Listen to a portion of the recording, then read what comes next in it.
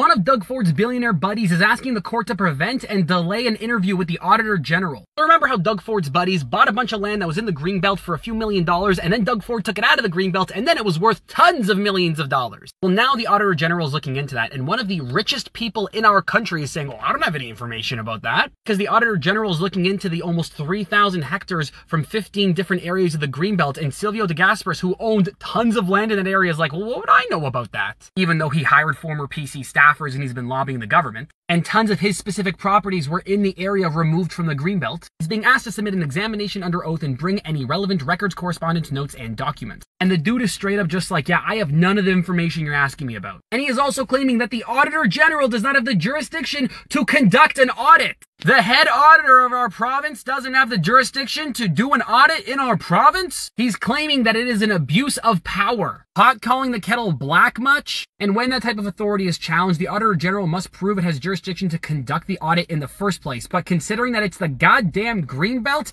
I think they'll have no problem proving that. Because the audit is justified and Silvio De Gasperis is at the center of the information that's needed. But here we are in Doug Ford's Ontario where he's able to enrich his billionaire buddies further, and then they're able to turn around and say, oh, you can't investigate me, that's an abuse of power. Absolutely ridiculous.